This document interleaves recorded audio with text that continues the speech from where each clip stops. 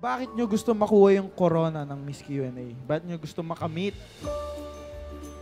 Siyempre, unang-una kasi, uplifting sa, sa amin yun. Of course. Nakaka-gain din ng respect. Pero most of, uh, aside from that, gusto ko lang ma-build, especially yung province namin from Pangasinan, na Yes. we can have, like me, na kayang lumaban such like this. Tama. Yun yung mga purpose ko in life.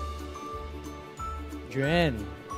Well, right now, kasi hindi talaga siya pumasok sa isip ko yung pagkamit ng, um, what I call this, ng corona, but rather the experience itself because sooner I'll become a, a- an educator, then masakap magturo sa mga estudyante pag marami kang experience. So, That's true. dun talaga ako, uh, dun yung pinaka, uh, what we call this, um, the bottom line, parang the experience. Yun. Great. And Pauline. Experience is the best teacher. Yes. Ayun, agree ako sa kanilang dalawa since nasabi na nila. And I, Ayun, and I thank you. Yeah! Maraming thank you. Ayan. Maraming maraming you so much and good luck Maraming sa inyo. sa Good luck. inyo, Good luck. mamaya.